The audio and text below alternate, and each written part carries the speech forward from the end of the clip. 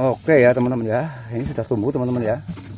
Sudah tumbuh semua ya teman-teman. Ini umur tiga minggu ya teman-teman ya.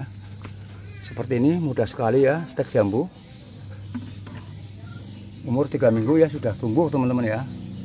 Oke jadi seperti itu teman-teman ya. Cara stek jambu itu mudah teman-teman ya.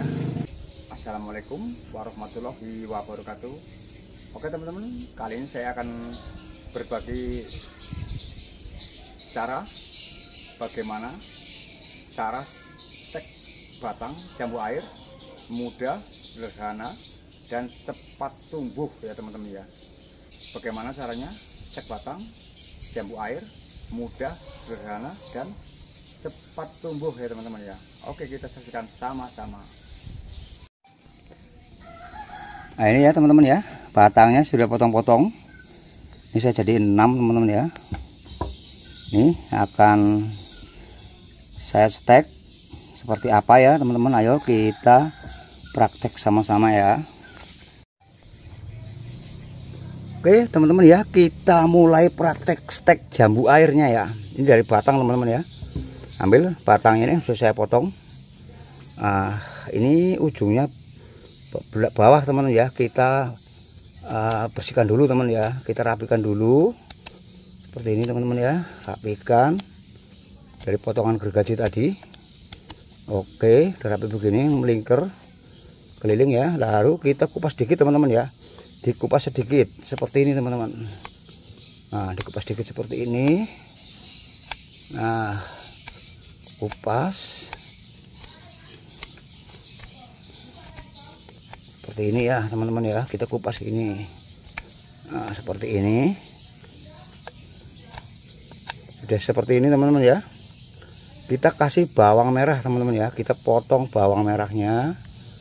Seperti ini teman-teman potong. Nah seperti ini. Oke kita kasih bawang merah di sini teman-teman ya. Seperti ini ya. Gosok-gosokan gini pakai bawang merah. Nah kalau punya pisang juga bisa teman-teman ya. Atau uh, lidah buaya ya. Bunga itu tumbuhan taman hias lidah buaya juga bisa ya teman-teman ya sama ya lidah buaya. Bawang merah seperti ini. Atau pakai pisang yang sudah matang teman-teman ya. Bisa ya. Buat penumbuh akarnya yang mempercepat pertumbuhan akarnya. Oke. Nah seperti ini teman-teman ya. Sudah saya kasih bawang merah semua ini teman-teman. Ini seperti ini. Nah ini bawang merahnya sudah semuanya kayak gini ya. Oke. Nah ini dibiarkan dulu sedikit teman-teman ya biarkan dulu sebentar biar agak kering sedikit. Ya oke kita cari yang lainnya ya. Lainnya. Nah ini teman-teman ya. Oke kita kupas kulitnya seperti ini teman-teman. Nah, nah kupas kulitnya seperti ini. Keliling teman-teman ya seperti ini. Nah oke seperti ini ya teman-teman. Sudah saya kupas ini keliling. Dikasih bawang merah teman-teman ya jangan lupa kasih bawang merah.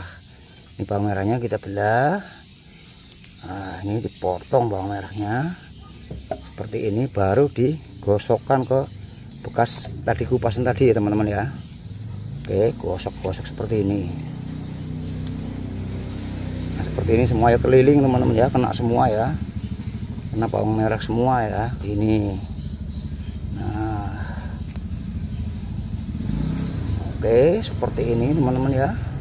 Mudah sekali teman-teman ya. Stek batang jambu air mudah ya teman-teman ya. Oke sudah ini teman ya sudah banyak. Nah, ini tadi teman-teman ya. Dua. Ini mau ditancapkan teman-teman ya. Nah ini stek yang satu. Ini seperti ini yang satunya lagi. Ini ya ini batang besar teman-teman ya. Sini satu jempol kaki lebih ini ya besarnya. Yang ini satu jempol kaki. Oke ya teman-teman ya tunggu kering sebentar nanti kita tancapkan. Oke teman-teman ya ini mau saya tancapkan teman-teman ya. Nah, ini mesti tancapkan. Ini sudah berapa menit ya sudah agak kering dikit teman-teman ya. Ini dibuka media tanamnya. Oke saya pakai botol galon air mineral saya belah dua biji teman-teman ya. Sama. Oke. Kita tancapkan teman-teman ya sekarang ya Oke nah seperti ini. Lubangnya dulu seperti ini. Jangan sampai ke dalam penuh ya teman-teman. Separohnya aja. Oke ini diambil teman-teman ya. Ini ambil batangnya. Tancapkan seperti ini. Oke nah, baru kita tutup pinggirnya. Seperti ini teman-teman ya. Oke kita pasang tutupnya nah seperti ini teman-teman ya. Satunya teman-teman ya. Satu lagi. Ini dilubangin tengahnya seperti ini. Oke separuh ya. Separuh kedalaman. Nah ini masukkan ya bibitnya ini. Batangnya ya. Masukkan. Batangnya kita masukkan. Oke teman-teman ya. Kita tutup. Tutup seperti ini oke udah tertutup tak batangnya. Masukkan tutupnya ini sungkupnya nah oke. Ini teman-teman ya habis ini ditaruh di tempat yang teduh teman-teman ya. Saya taruh di bawah pohon di samping rumah yang tidak kena matahari langsung ya. Nah, seperti ini. Ini di bawah pohon ya besar. Ini ada stekan nanti kita buka ya teman-teman. Kita lihat nanti ya oke